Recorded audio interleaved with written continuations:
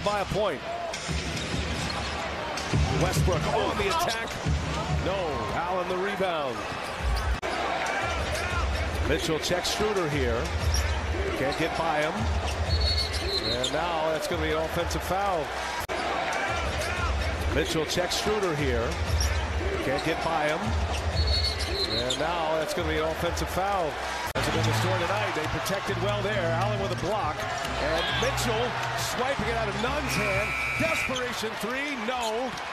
Rebound and a foul as Damian at NBA 2K23. Feel every moment in the game when you play NBA 2K23 on PlayStation 5. That's one of the most frustrating possessions you can have as a coach defensively there.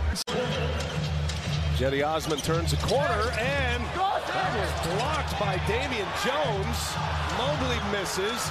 Another chance for Cleveland. Reaves on Garland. Mobley working with Garland.